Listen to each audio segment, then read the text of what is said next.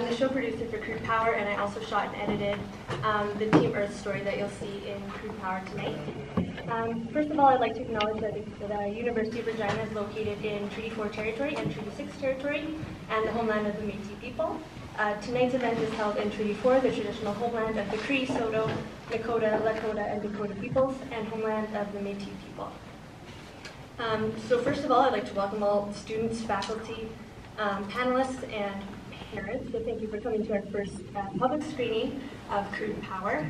And Crude Power is filmed across the province uh, by the School of Journalism, and the program exposes the tight connections between government and the oil industry and investigates the substantial impacts on citizens of the province.